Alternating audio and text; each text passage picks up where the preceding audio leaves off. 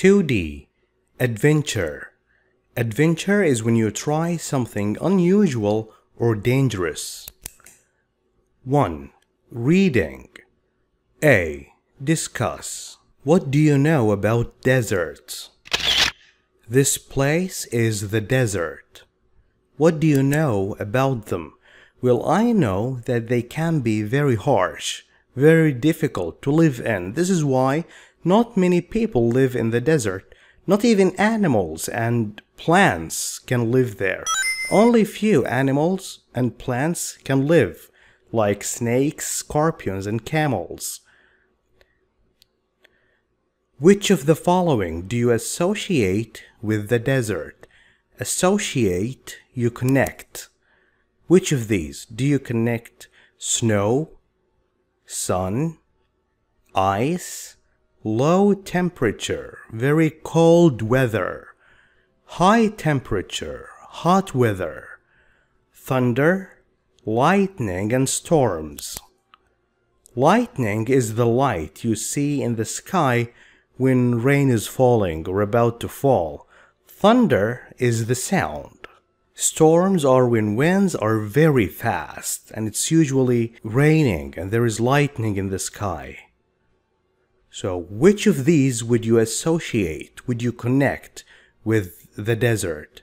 Well, I would associate sun, high temperatures during the day, low temperatures during the night, and sometimes rain falls and storms could occur in the desert. B. Read the text on the right quickly and match the headings, match the titles a to E with the paragraphs 1 to 4.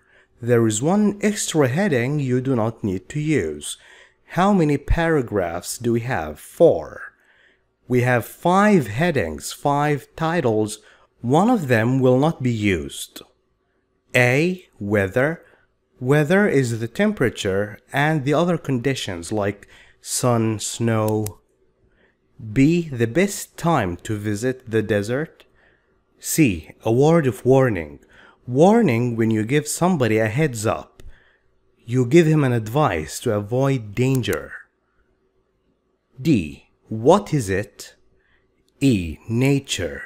Nature could mean everything that is not controlled by humans, but in today's reading, what we mean by nature is the characteristic. Before we read, here is a tip.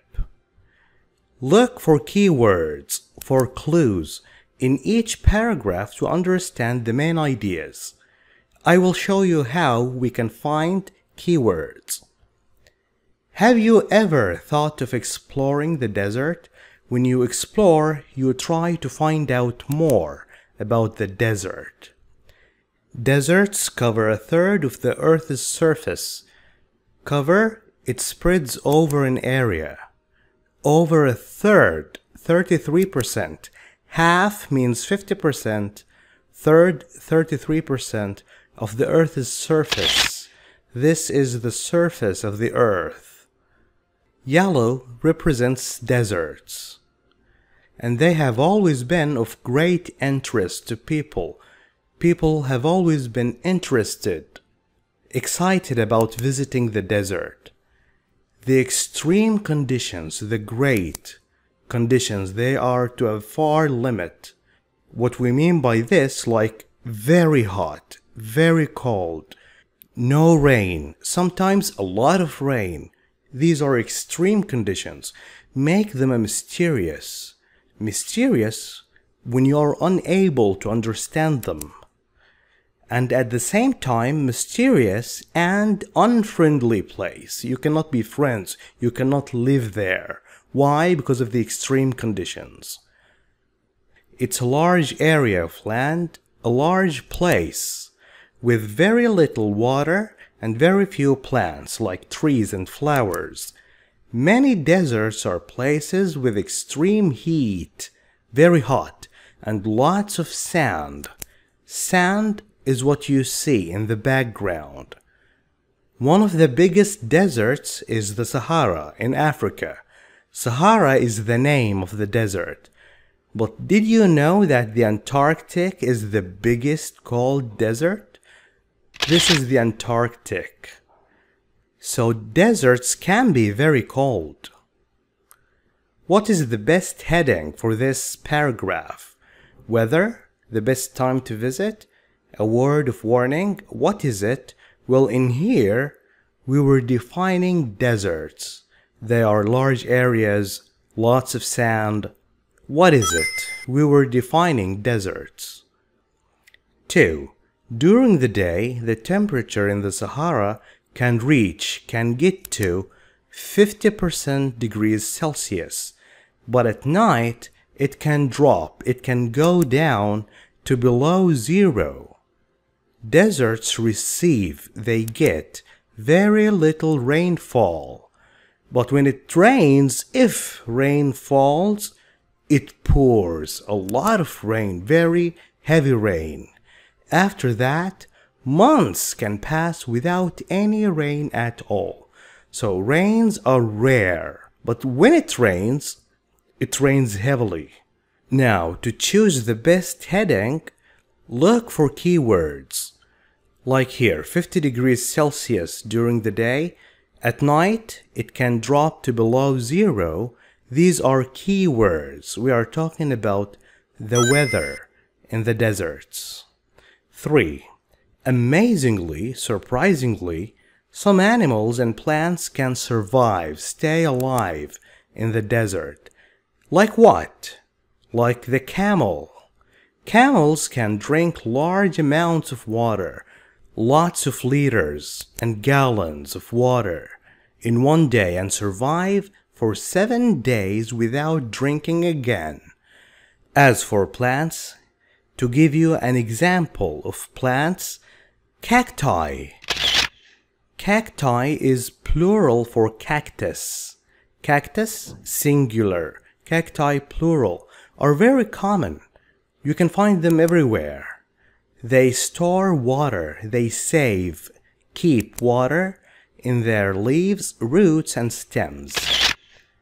One leaf, singular, two leaves with V.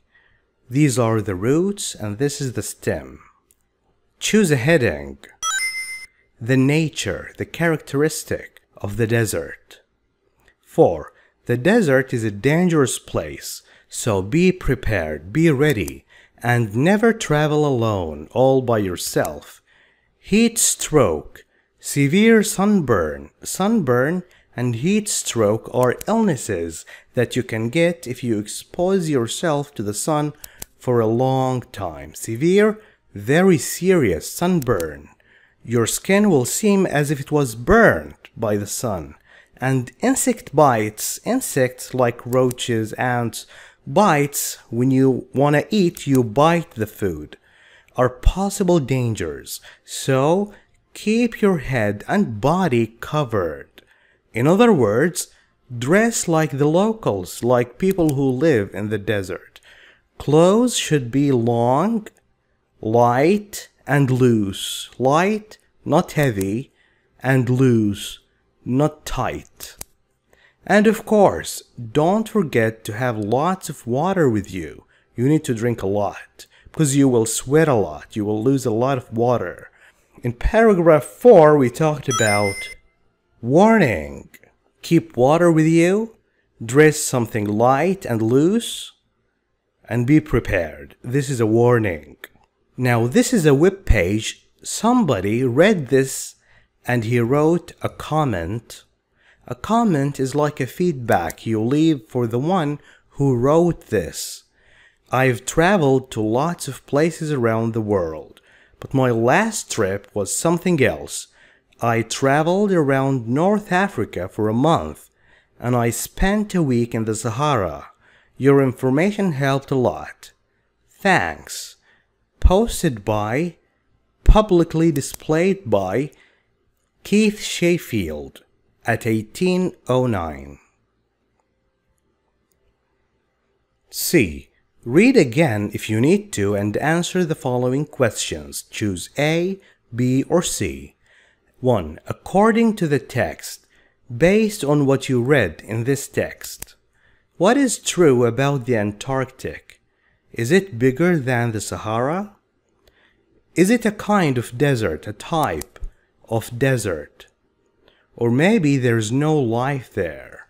Based on what you read, Antarctic is the biggest cold desert, so it's a kind of desert. B. 2. Why does the writer mention camels and cacti? Why? Because they have been in the desert for centuries, hundreds of years, or because they can live without water for a long time, or because people cannot survive in the desert without them, he mentioned them as examples for animals and plants that can survive. B. 3. Which of the following would be most useful, very helpful, when traveling in the desert? A hat, like this. This is a picture of a hat. Or a pair of shorts, or a pair of boots. Remember that you should keep your head and body covered. So shorts are inappropriate. A hat would be great what about boots? Well, you don't necessarily need boots. Shoes would be okay if you wear something long. 4. What is not true about Keith? Keith is the one who wrote the comment. What is not true, false about him? A. He found the advice useful. He found the recommendation useful. B. He spent only a week he stayed for only a week in North Africa or he visited the desert? Well, B is not correct. Why? He spent a month in North Africa. He spent only a week in the Sahara. So B is not correct. D. Look at the highlighted words extreme, drop, survive, star, and severe, and choose the correct meaning, A or B. What's the meaning of extreme here? Extreme conditions. Very hot, very cold, no rain, or a lot of rain. Great or usual? Great. The temperature drops at night. It goes down. When you survive, like camels, you stay alive. When you store water, like cacti, you keep water inside you for future use. If you get severe sunburn, that means it's really bad, it's serious. E. Discuss. Would you like to go on a journey through the desert? Would you like to visit the Sahara Desert? If yes, why? If no, why not? Well, if you asked me this question before today, I would have definitely said no. Why would I visit the desert? But after today's reading, I feel a little intrigued by the desert. And I really feel like, okay, maybe sometime I want to visit and stay for a day or two. Thank you for watching this video. If you like it, please share it with friends. I will leave you now with the workbook exercise. I'll see you again next time inshallah. Goodbye.